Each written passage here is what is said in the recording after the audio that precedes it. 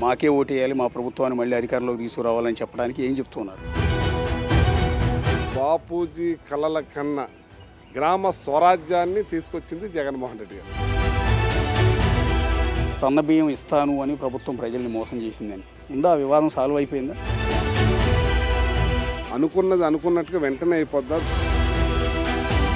ముప్పై మూడేళ్ళ వయసున్న యంగ్స్టర్కి అవకాశం ఇచ్చారు జగన్ గారు. ఈ రుణం ఎట్లా తీసుకుంటారు? ఆయన ఎప్పుడు ఒకటే మాట అంటాడు కొప్పంటూ ఉంటే పూలెట్టుకోవచ్చని నేనంటూ ముఖ్యమంత్రిగా ఉంటే మీకు ఏ పదవులన్నీ ఇవ్వచ్చు.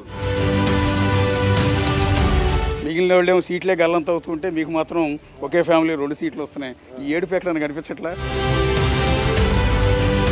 ఎవరు ఏడ్చినా ఎవరు ఏం చేసినా నా జీవితం జగన్మోహన్ రెడ్డి గారికి అంకితం.